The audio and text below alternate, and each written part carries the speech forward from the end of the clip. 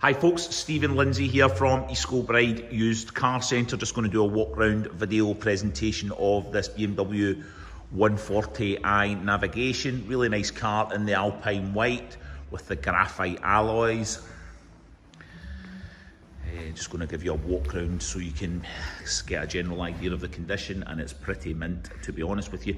Has the twin exhaust system, has the parking distance control front and rear audio and visual parking distance control.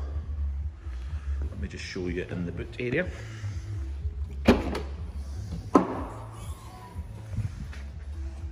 Very clean and tidy this car. Um, battery, a few accoutrements there. Let me just take up the passenger side of this car. Has the privacy from column C backwards has the blue M Sport calipers.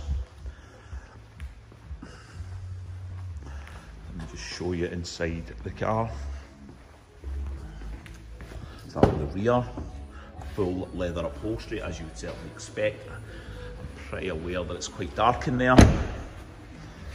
Has the full BMW dealer service history, which you would expect.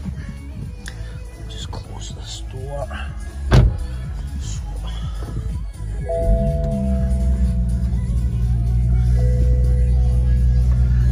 Navigation.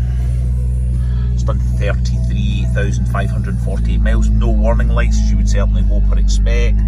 Dual zone digital climate control, sports mode.